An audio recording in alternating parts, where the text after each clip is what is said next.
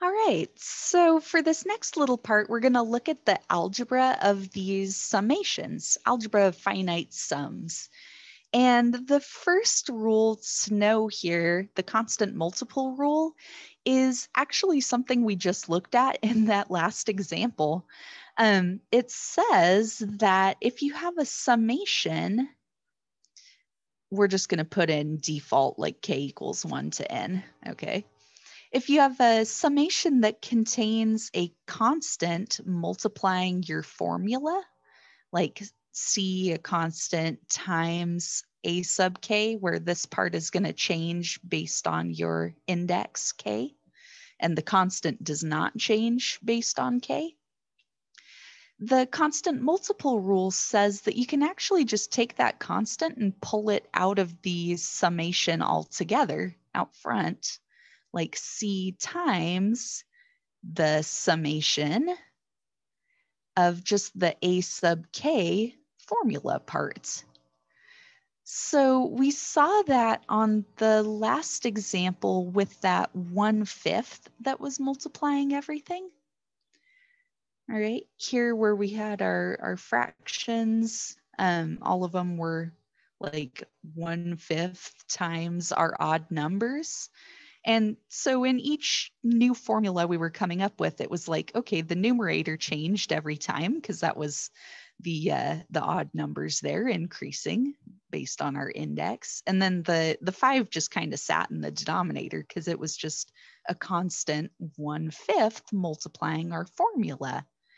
And so that's why we're able to pull that one fifth out and do one fifth times a summation giving us those odd numbers. So you can do that for any constant and any type of formula. It doesn't have to be just restricted to like odd numbers. If you have C times any formula A sub K, you can pull that constant C out front. So that's kind of a, a nice little trick to have there up your sleeve. And then uh, our couple of other rules here. We've got a sum and difference rule. That is what it looks like if we have generically a summation that has terms that are added together inside. Like if you have two different formulas that you're seeing come up in each term, like an A sub k and a B sub k type of thing, you can take that and you can split it into two different summations. You can take the sum of your A sub k terms and then add a summation for the B sub k terms. Okay, so k equals 1 to n. You would keep the same indexing information on each of those. And remember, of course, k equals 1 is just like the default there. You could do k equals whatever you want on your own index.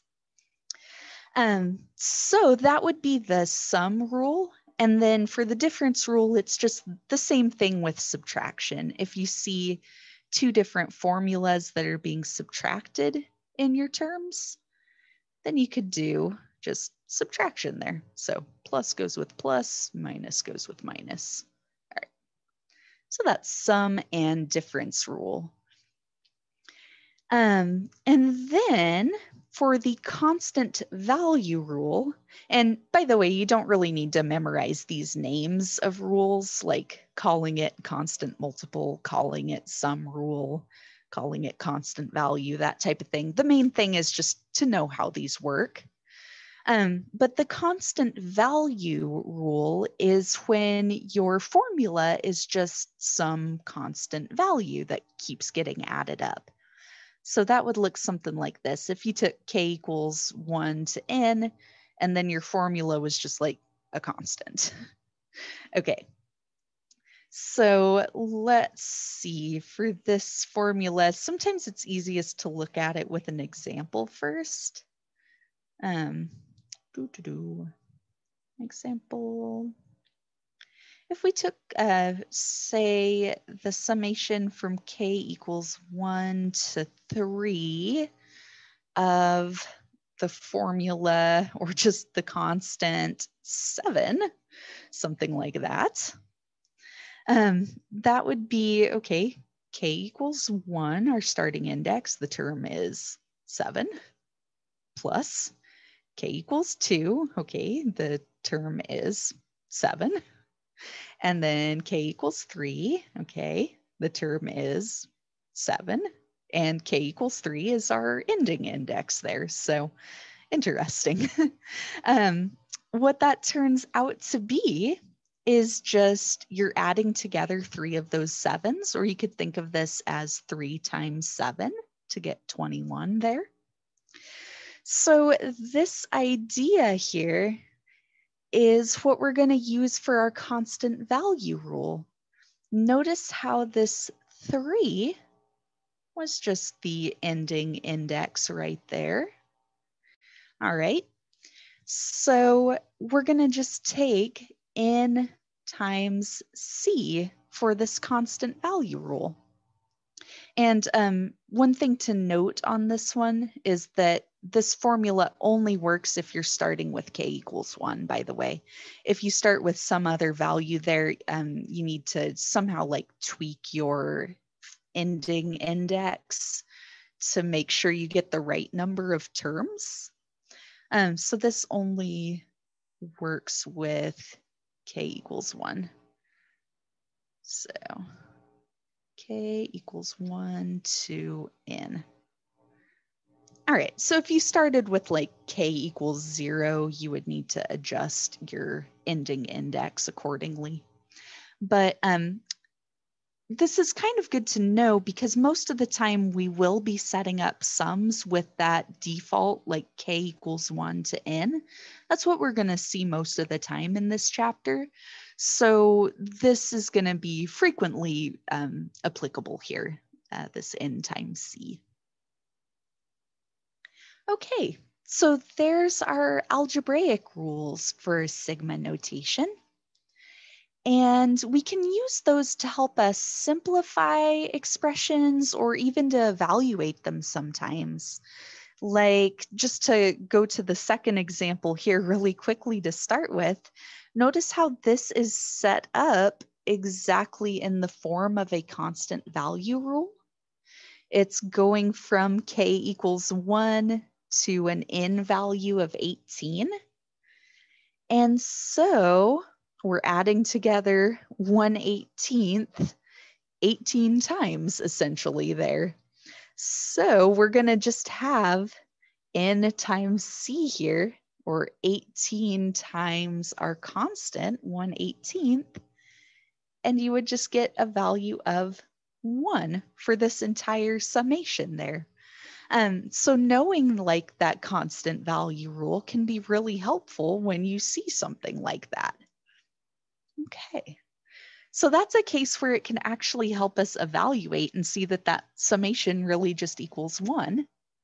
Um, the first example, to kind of backtrack a second here, this example, we might not be able to evaluate it, but we could simplify this expression or write it differently. So notice here we've got k equals 1 to n, and then the formula for our terms is k cubed plus 6. So basically we've got ourselves like an a sub k and plus a b sub k type of thing. And so yeah, in the chat there, first, can we use the sum rule? Yes, we definitely can.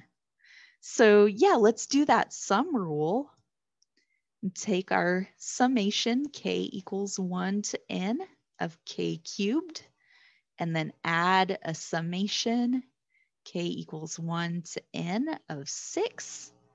And then, yeah, you got the second part there as well. Then use the constant value rule on the second part. Very nice.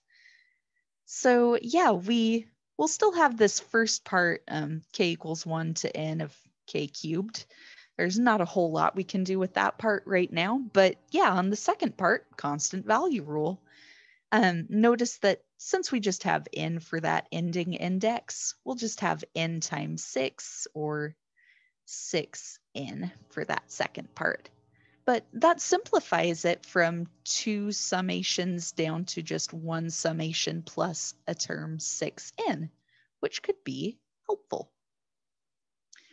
So yeah, um, that's how we would use the algebra of finite sums for things like this. And we will definitely see where this is handy, uh, I think in just the very next section, uh, 5.3, we're going to be doing a lot of this. So these are good to know.